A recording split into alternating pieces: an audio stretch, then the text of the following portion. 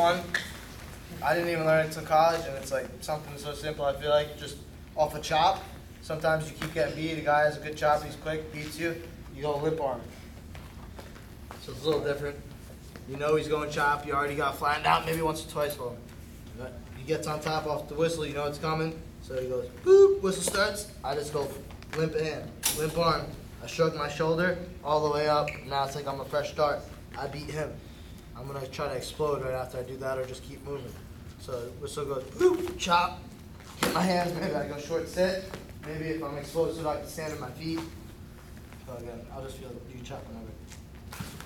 Stand on my feet and control. I'm out. That's one of them. Throw off the whistle. Another one I learned, I picked up off this kid. I, I was competing with him for a spot at first. And now he's 49. Tyson Dippery, from PA. He does this a lot. He's a little lazy wrestler, but this one works.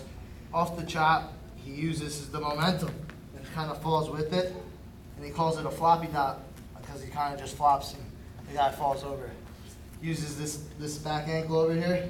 He's gonna elevate it, kick it out. As I turn, I kind of sit out, keep the momentum moving. You want to beat his hips though with it. You could do it off a claw as well. If you claw rise, boom, kick out, sit out, just try to beat his hips. Keep moving to that side. One more time. Use his momentum, I fall, inside his leg, kick it up, my butt.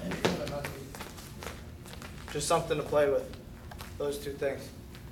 Any questions on tho- on those?